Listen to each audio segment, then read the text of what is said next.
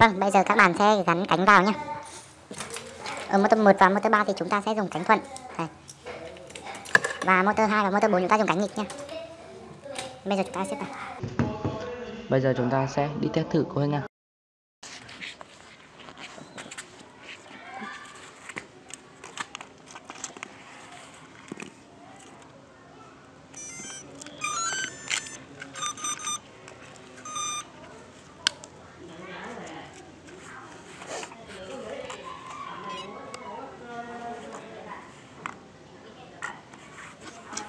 Khởi đầu nha.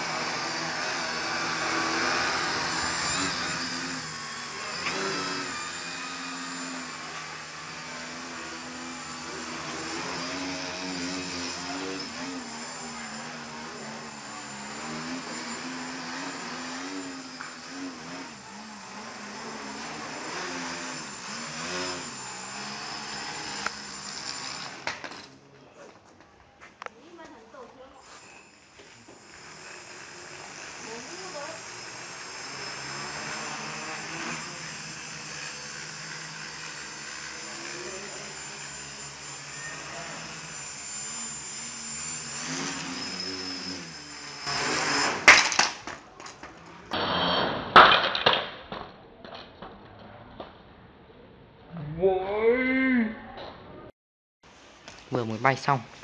Cái rất nặng vãi lên luôn. Đây. Này, con bên này thì không sao, mấy con này không sao nhưng mà cái nó gãy. Chắc vậy là mà phiên bản khác nhé. Ống nhiều PVC nhưng mà nó chắc đầm hơn nha nó chắc hơn nha Vâng cảm ơn các bạn đã xem video. Nhớ bấm nút like và đăng ký kênh nha